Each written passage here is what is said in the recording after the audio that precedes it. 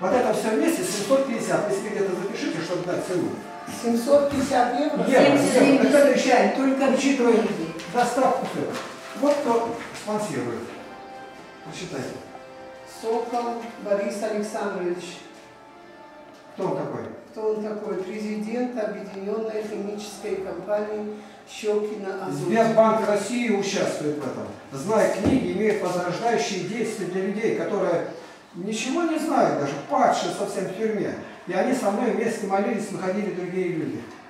Это Дух Святой делает. Ну, я разговариваю с заключенным, знаю, в чем дело, потому что я сам в пяти тюрьмах отбывал.